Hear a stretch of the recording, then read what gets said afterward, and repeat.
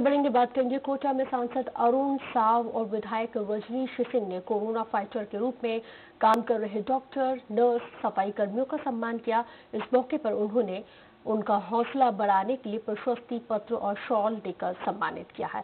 इस दौरान physical distancing का भी पूरा ख्याल रखा गया।